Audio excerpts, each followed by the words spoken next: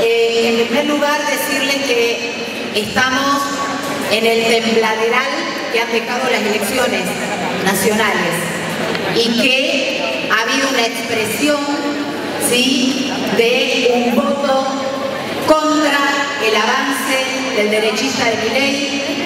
Ha habido y ha existido un voto contra el negacionismo, un voto en defensa de los derechos humanos y un voto, digamos, con la nariz tapada a Massa contra mi ley, porque está claro que todos sabemos que Massa es uno de los responsables fundamentales que estemos en la situación tremenda económica con los salarios pulverizados y con las condiciones laborales cada vez más escandalosas y con un acuerdo con el Fondo Monetario Internacional que lo que hace es cumplir permanentemente con el pago de la deuda externa a costa de los salarios, las jubilaciones, las condiciones laborales, los puestos de trabajo y los presupuestos de salud y de educación.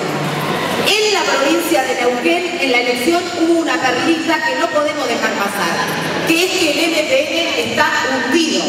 Sacó el 7% de los votos. Después de perder el partido de las tres siglas, la gobernación, aunque ganó uno del MPN, digamos, en esta elección el MPN sacó unos míseros 7%. ¿sí? Entonces es la caída estrepitosa de lo que fue el gobierno de los Solis, de los Gutiérrez, etcétera, etcétera. Por supuesto que desde la directiva del capital queremos plantear que gane quien gane de cualquiera de los dos candidatos que van al balotaje, los tenemos que preparar porque va a haber ajuste.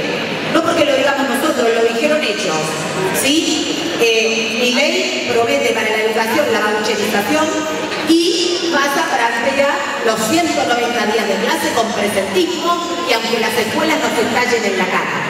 Pero ninguno habla de cómo resolver las situaciones calamitosas que tenemos en el sistema educativo. Tenemos en esta situación 50% de la población bajo la línea de pobreza, en la niñez, como dijo la compañera, esto aumenta más y está claro que con una inflación que no cesa y que está trepando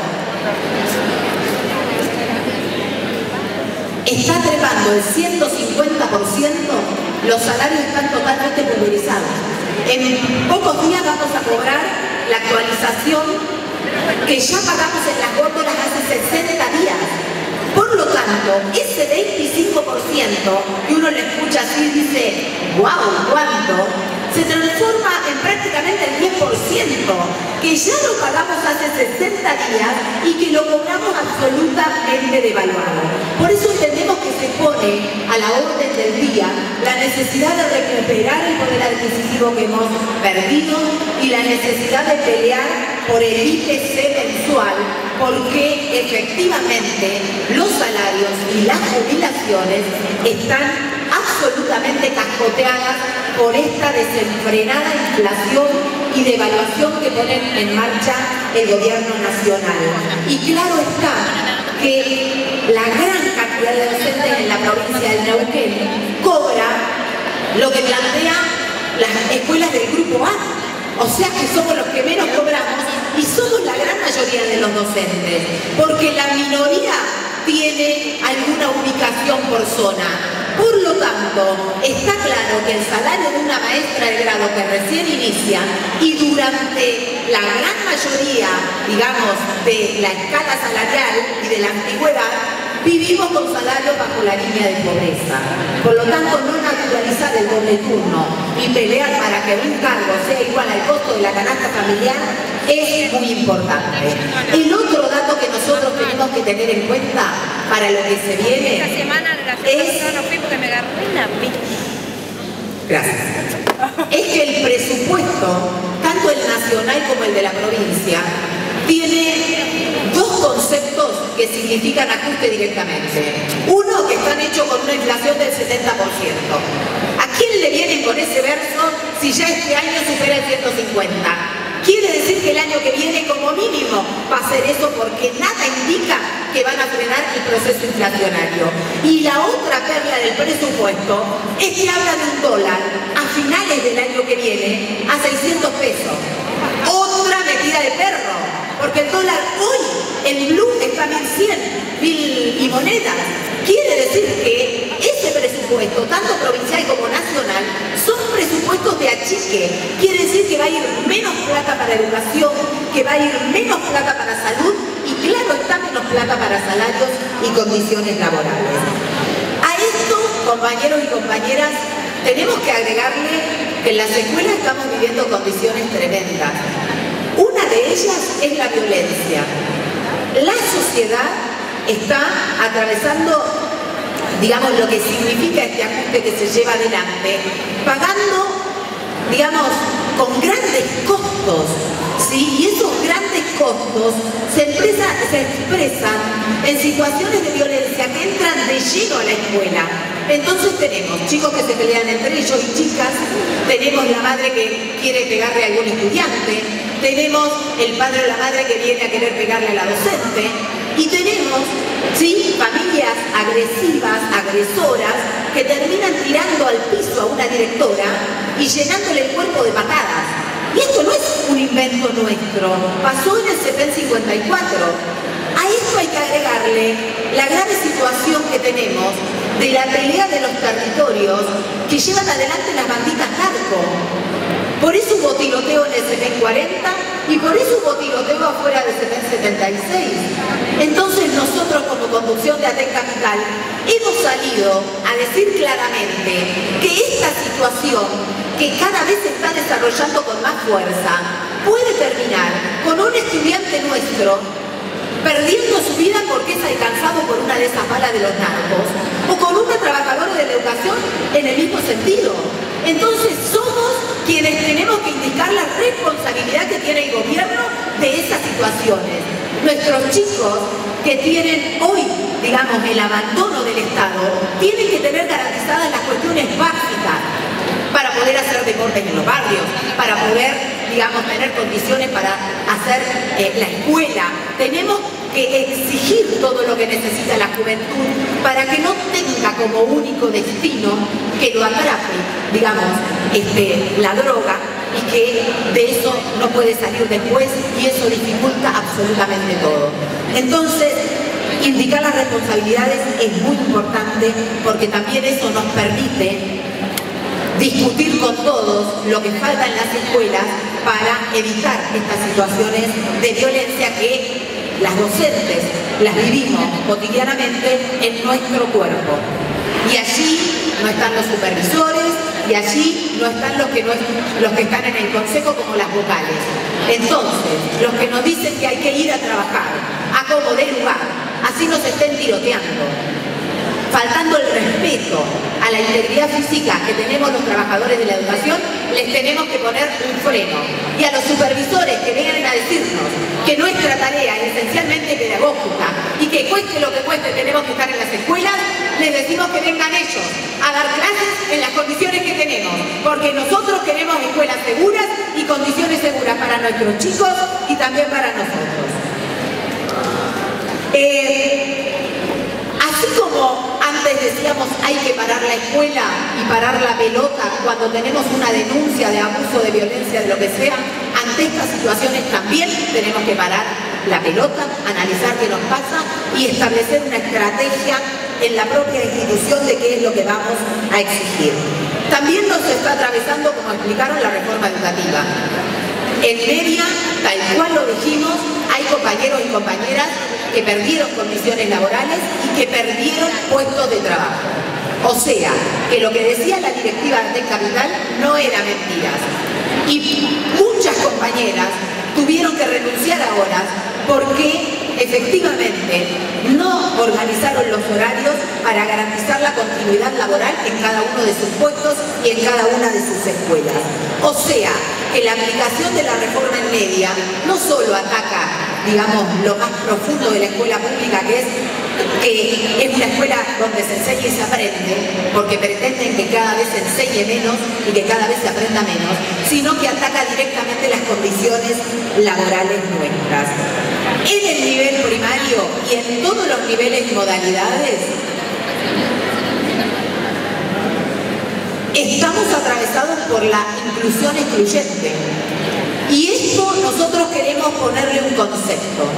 Es el abandono de los chicos y chicas con discapacidad en la escuela común, sin ningún tipo de dispositivo, y es el avance de la flexibilización laboral para los trabajadores de la educación que sin ningún tipo de recursos tienen que hacerse cargo de toda la diversidad que depositan estos señores que dicen ser quienes determinan las políticas este, educativas en nuestro sistema.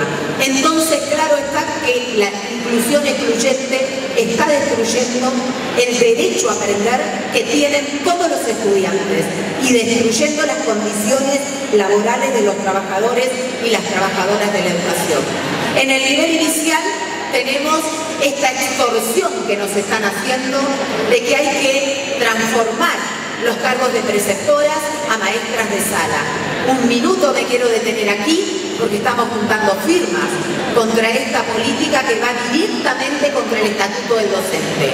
Porque la compañera que no quiere transformar su cargo le dicen tenés el derecho de no transformarlo, pero agarrate Catalina porque te vas a morir con el cargo de preceptora o te vas a jubilar con el cargo de preceptora o tendrás el cargo de preceptora hasta que lo renuncies. Entonces se termina con los cargos de preceptora, con la política extorsiva del gobierno de transformar esos cargos para generar las duplas pedagógicas. No era eso lo que pedíamos.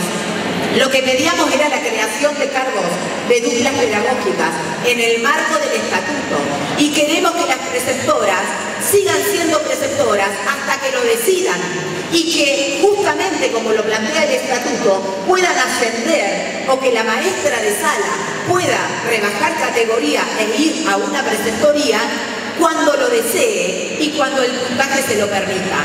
Y no de esta manera extorsiva para terminar con los cargos de preceptoras y terminar con el estatuto del docente. Entonces somos claros y somos claras. Vamos a seguir organizando a la comunidad educativa, a la docencia y a las estudiantes y estudiantes porque hay que enfrentar este proceso de reforma que viene por la escuela pública y para terminar con lo poco que queda de ella. Quiero detenerme en lo que seguramente ustedes ya han visto. Hay una convocatoria a una asamblea provincial de memoria y balance. Escuchar porque le vamos a pedir a cada asambleísta un gran esfuerzo y que sea parte de las tomas de decisiones. Cuando nosotros decidimos, no solo decidimos levantando la mano, sino que tenemos que decidir poniendo el cuerpo en lo que colectivamente llevamos adelante. La Asamblea de Memoria y Balance, ¿qué es? Es una asamblea que todos los sindicatos tienen que hacer una vez por año. ¿Qué es la memoria? Es la explicación de lo que actuó políticamente una conducción. ¿Y qué es el balance? Es la explicación de cómo en esa política que llevó adelante, que está traducida en la memoria, se gastaron los fondos sindicales.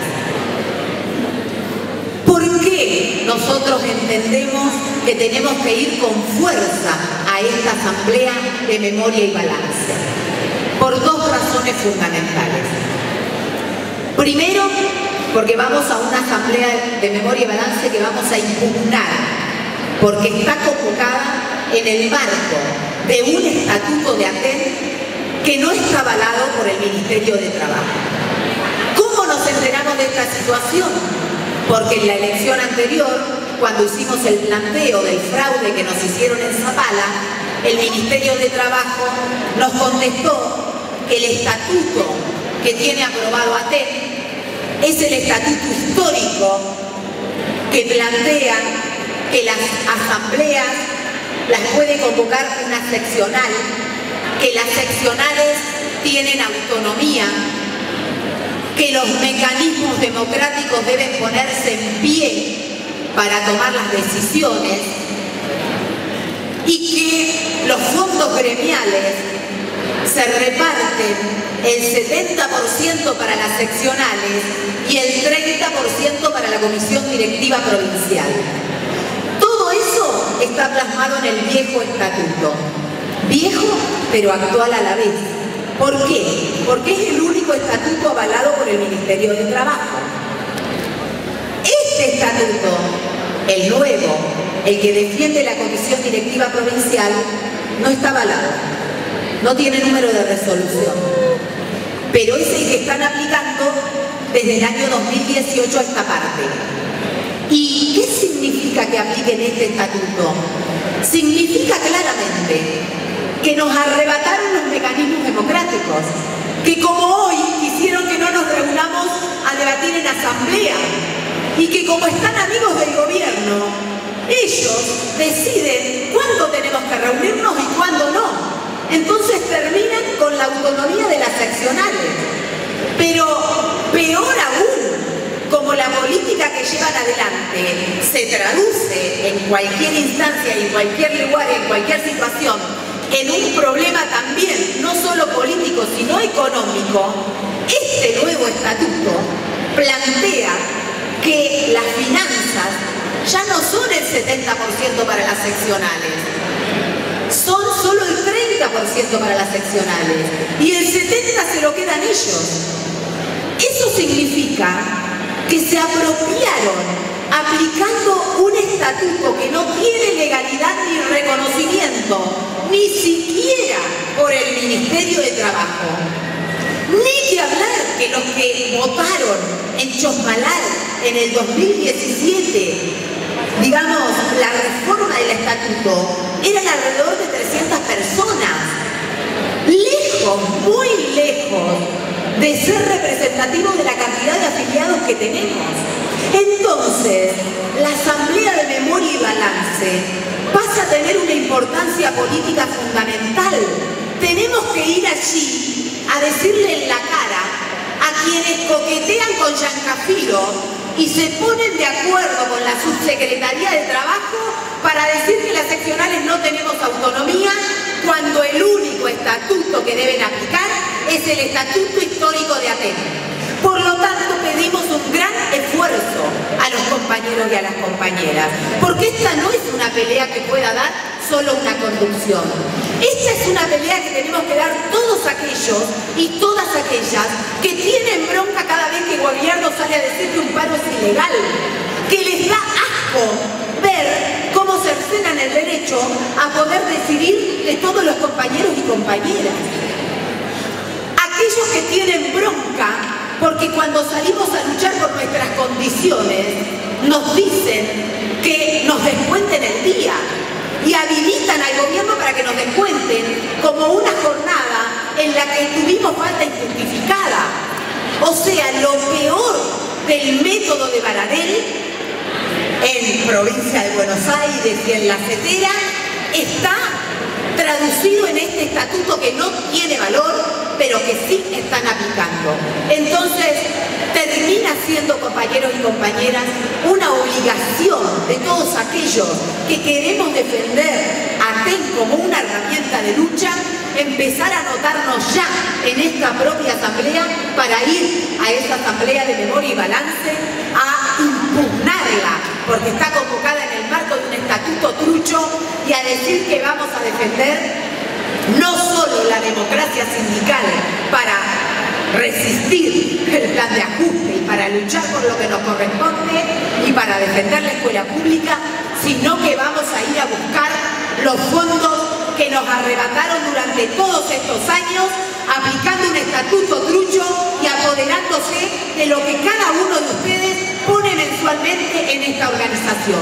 Entonces vamos a convocar a cada compañero y compañera a que se sume a la lista de los cerca de 150 que ya hay anotados para hacer muchos y muchas hechos Chosmalal el día 11, levantando la mano para impugnar una asamblea y un estatuto que no pueden aplicar porque no tiene reconocimiento.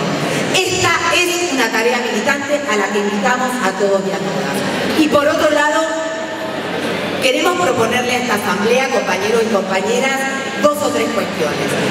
En primer lugar, entendemos que más allá de que nos digan ilegales, de que nos descuenten el día, de que nos amenacen, nosotras tenemos que poder ponernos de pie para defender lo que nos corresponde. Entendemos que vivimos en una situación económica espantosa, que cada centavo de nuestro salario tiene un destino, ¿verdad? Y que quizás un día que nos descuentan significa un descalabro porque tenemos milimétricamente destinada cada centavo de nuestro salario. Pero ¿saben qué, compañeros? Cuando decidimos en este poner en la balanza que o ponemos en riesgo un día con un descuento o defendemos nuestras condiciones y no le entregamos el sindicato ni a la burocracia sindical y menos que menos al gobierno, tenemos que tomar decisiones. Muchas veces decidimos ir a planes de lucha sabiendo que incluso la mayor de las legalidades, como dicen ellos, con planes de lucha convocados en conjunto con la Comisión Directiva Provincial, hemos tenido descuentos de 15 días, de 20 días. Siempre ponemos, digamos, en riesgo algo cuando luchamos. Miren cómo ponemos en riesgo que en el 2007 nos arrebataron la vida de Carlos Fuentealba. Y eso significó que durante muchos años no pisáramos ni un milímetro la ruta. Pero no nos derrotaron, porque después seguimos luchando y conquistando cosas.